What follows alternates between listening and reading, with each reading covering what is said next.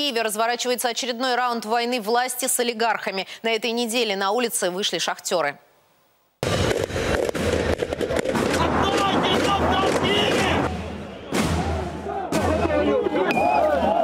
Мы здесь для того, чтобы министр угольной промышленности добровольно подал.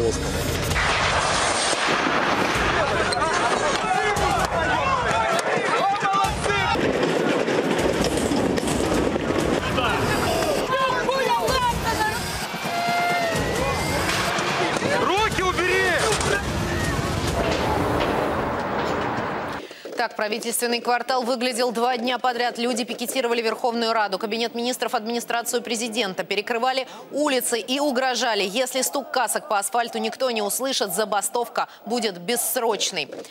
Угольная отрасль Украины действительно в кризисе. В правительстве даже обсуждают планы по закрытию шахт. Кабинет министров признает задолженность около 9 миллионов долларов. В независимом профсоюзе горняков, правда, называют другую цифру – больше 22 миллионов. И хотя проблемы очевидны, многие увидели в нынешних протестах не социальный, а политический подтекст, в том числе и президент Порошенко. Ми не дамо декому. Мы не дадим никому грабить страну и высасывать из нее, как это делали 20 лет назад, бюджетные ресурсы налогоплательщиков для собственного обогащения. Хочу еще раз повторить. Те из олигархов, кто собирается давить на власть псевдозабастовками, получат по рукам. Имя самого богатого человека на Украине президент не назвал, но, очевидно, имел в виду Рената Ахметова. Именно Ахметову принадлежит Донбасская топливно-энергетическая компания, крупнейшая в стране по добыче и обогащению угля. Депутаты Рады от правящей коалиции уже попросили прокуратуру проверить, не причастен ли холдинг миллиардера к шахтерской забастовке. А политологи снова заговорили о конфликте государства с олигархами. В Украине идет мощнейшая борьба между кланово-корпоративными группами.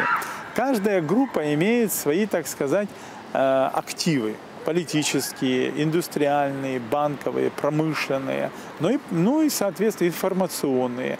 Ну, в том числе а, имеют как бы и, и социальные активы, то есть в виде каких-то отрядов рабочего класса или других а, людей, которые могут э, создавать массовые, проводить акции. Группа Ахметова, она такую а, как бы боевую силу в виде шахтеров имеет. Мог ли он это использовать для борьбы а, с другими корпоративными группами, прежде всего с группой Порошенко? Конечно, мог. И это может происходить.